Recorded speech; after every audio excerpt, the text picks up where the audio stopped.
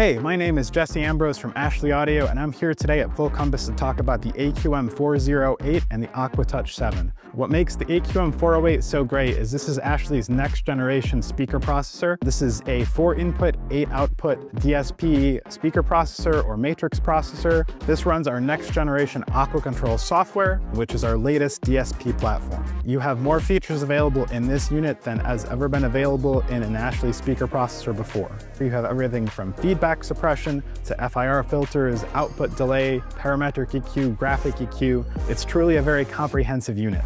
So on top of the AQM 408 here is Ashly's AquaTouch 7.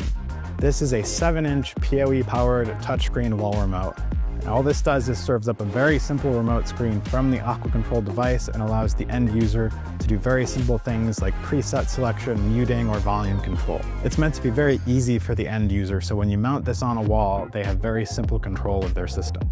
So if you have any questions about the AQM 408, the AquaTouch 7, or any Ashly product, just get in touch with your Full Compass sales representative and they'll be happy to help you.